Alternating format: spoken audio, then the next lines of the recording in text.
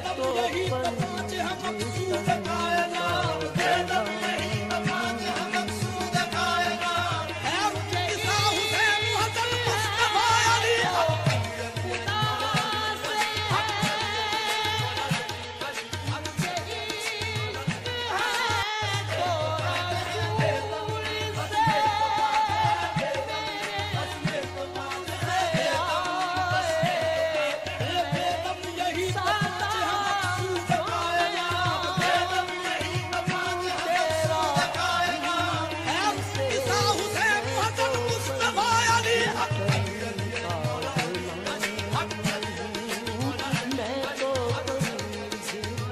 مفتی صاحب ارشاد فرمائیں کہ پنجتن پاک کن کو کہا جاتا ہے اور کیوں؟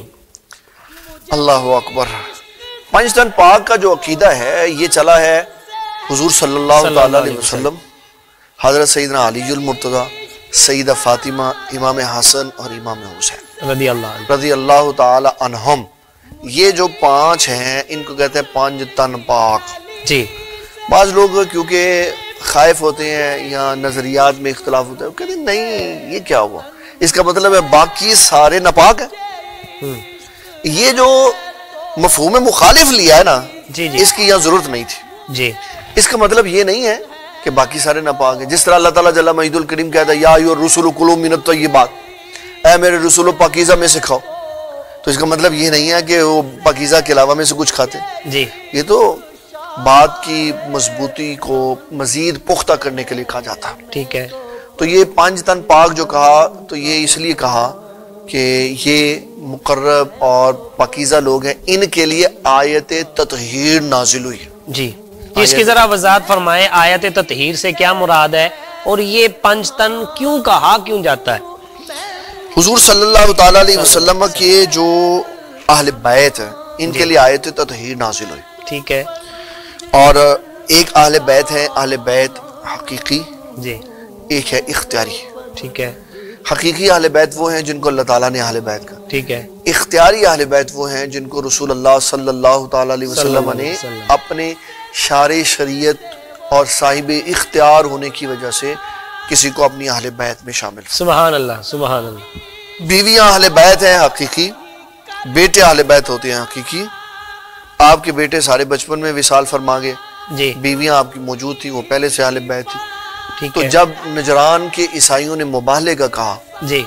تو نبی اکرم شفیع معظم صلی اللہ علیہ وسلم نے۔ فرمایا ابنانا و ابناکم و نسانا و نساکم و انفسنا و انفسکم ثم نبتہل فنجل لعنت اللہ علی القاذبین ہم بھی آ جاتے ہیں تم بھی آ جاؤ میں اپنی بیٹیوں کو بلا لیتا ہوں تم اپنے بیٹوں بیٹیوں کو بلا لو میں اپنے بیٹوں کو بلا لیتا ہوں تم اپنوں کو مبالا کر لیتے۔ ٹھیک ہے۔ اس میں حضور صلی اللہ تعالی علیہ وسلم نے حضرت علی کو بلایا حضرت سیدہ فاطمہ کو بلایا امام حسن امام حسین کو بلایا۔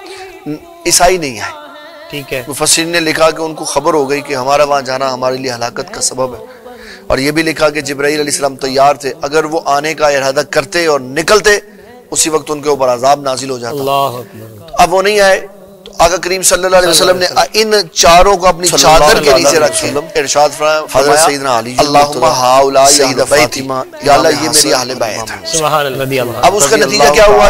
ان کو اعزازی اہل بیت بنایا ان کو اہل بیت رہنے دیا جو حقیقی تھی ان کو باہر نکال دیا۔ جی۔ تو یہ ظلم برا ظلم ہے جب اہل بیت کا ذکر ہوگا قبلہ یہ ساری دنیا میں بتا دیں کہ جب اہل بیت مطلب ہے باقی سب سے پہلے جس کا ذکر آئے گا یہ جو سیدت النساء مفہوم مخالف لیا ہے نا ام اس کی یہ ضرورت نہیں جت القبرہ رضی اللہ اس کا مطلب یہ نہیں ہے سب سے پہلے اہل بیت جس طرح اللہ تعالیٰ جل مجید الکریم کہتا ہے یا ایو الرسول کلوا من الطیبات۔ ان کو اعزازی اہل بیت۔ اے میرے رسول پاکیزہ میں سے کھاؤ پھر یہ سوال ہوا کہ یہ نہیں ہے کہ آپ نے ان کو اہل بیت کے علاوہ میں سے کچھ کھاتا اگر حضور پاک کی اس کے علاوہ کوئی بیٹی ہوتی تو وہ۔ جی۔ آپ صلی اللہ علیہ وسلم کی اس موقع پر تینوں صاحبزادیاں مثال فرما چکی تھی ٹھیک ہے۔ اگر کوئی ہوتی آپ ان کو بھی شامل فرما لیتے